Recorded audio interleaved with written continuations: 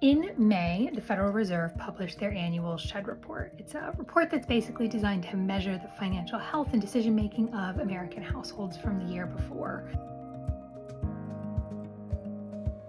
So, since then, we have been looking at our data to understand um, what new things we can glean basically by putting the two together, what things we can confirm, um, and to get kind of a handle on where we think we're going in 2023. The bottom line of the SHED report this year is that the average American family is financially worse in 2022 than they were in 2021. Uh, and unfortunately, I think that's a thing that we can also confirm. Uh, this year, we've seen um, the average American budget deficit has really grown. Uh, in prior years, we saw a budget, a budget deficit, which is the difference between their income and their expenses. Their expenses were about $150 higher than their income.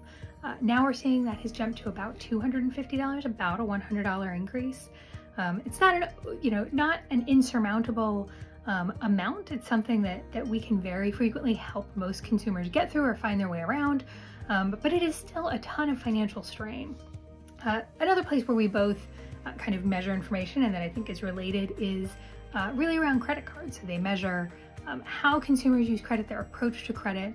Uh, one of the things they found, unsurprisingly, is that uh, just about all middle income American households have credit cards. Um, but the real challenging part is that uh, more than half of those households are carrying a balance month to month now.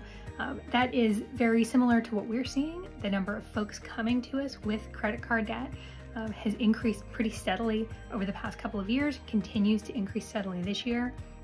Um, but on top of that, the real challenge is they're not just more people coming to us with credit card debt.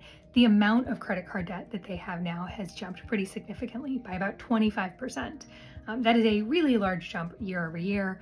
Um, kind of putting the two together, I think the picture that it really paints is we have consumers out there who are carrying this debt and not realizing that that can be a real signal of a problem, an early indicator.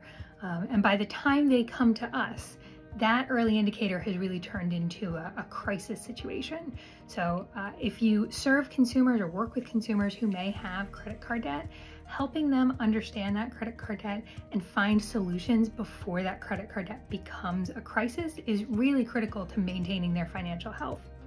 And so if you are interested in helping your consumers, uh, the consumers that you serve, find ways out of credit card debt, uh, or if you yourself are struggling with credit card debt, you can go to moneymanagement.org uh, to learn more about the options that are available and uh, how we can help consumers together.